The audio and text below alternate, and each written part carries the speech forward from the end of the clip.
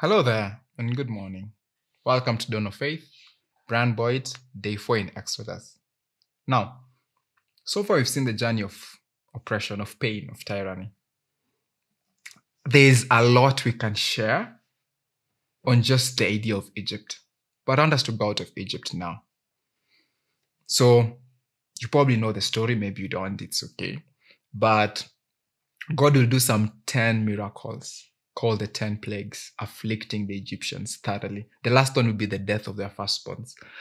It's, it's, it's a strange story. Um, maybe on a different day we'll discuss that in depth. But then the thing is, eventually Egypt allows Israel to leave. You can imagine the joy. You've been in a place for 200 and something years, you know, treated as slaves, creating wealth for them. Your men being killed, your women being preserved. That's what every every tyrant does, you know, destroys the men and elevates the women, knowing that he will by doing that he will destroy both the men and the women. Anyway. The next thing that happens is that they leave, then they arrive at the Red Sea. And God could have taken them through another route, you know, through the wilderness up to Saudi Arabia. But God is like, I'll take them through the shorter route. But the shorter route will include a Red Sea. And so God passes them through the waters. And that's water is always a symbol in, in Christianity and in many religions and cultures. It's a symbol of cleansing. God is basically saying, I want to cleanse you out of Egypt to a new experience. Because tyranny destroys both the slave and the slaver. You know, so even in Egypt, the tyrant and the slave are affected by Egyptianism.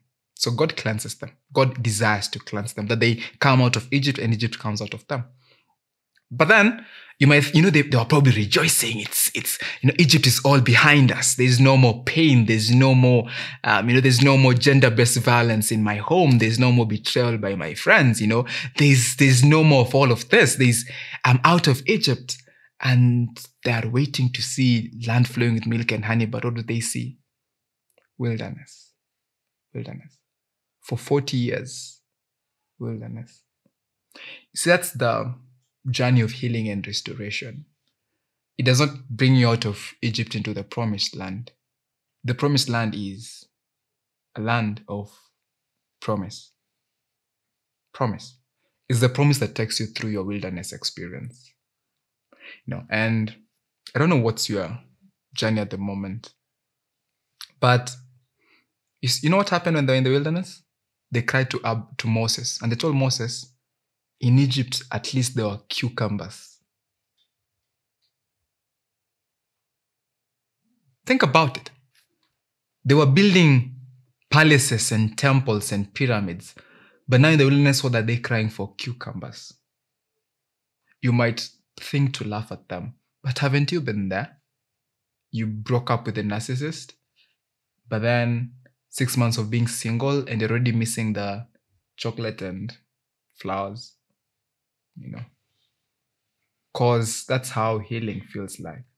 Sometimes you miss the good times that you experienced while in egypt. That's how narcissism works. It's a system of oppression that gives you chocolate and flowers to keep you there whether that's a marriage or it's a workplace or it's a friendship. So friends my message this morning is simple as i've been calling you out of egypt it is not straight into the will into the promised land. It's into the wilderness. But when you are there and you start missing the cucumbers, remember, you are building temples for free. May that give you the courage to pursue a healing journey. God bless you.